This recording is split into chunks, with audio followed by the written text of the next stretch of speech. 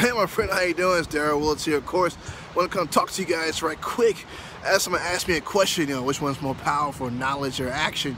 And of course, you know, knowledge is very powerful, but at the same time, you must take action. Because I know how many guys are sitting around there probably having all these wonderful ideas or all this wonderful information, but not taking a step further by implementing those things, taking the steps necessary to manifest the things you want in your life. Because you can do it, my friend, if you decide to take action. Because I give you all the knowledge there is, right, guys? But if you don't take action, then you won't see the results that you're looking for. So you must make sure that you take action. But first, of course, you have to obtain the knowledge, right?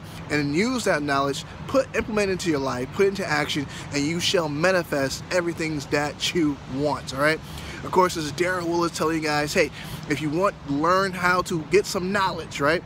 You want to get some knowledge and actually get the information 100% free, how to minimize your taxes, eliminate debt, grow your wealth, right? All this wonderful knowledge. And then even beyond that, show you how to implement everything that you've learned, how to put it into place, how to make sure it is taking place in your life so you can manifest, or excuse me, so you can manifest the things that you want in your life, all right? So of course, this is Darrell. If you want the information, just say, hey, send me the link below. And of course, guys, do what you do best, and I'll see you at the top. Peace.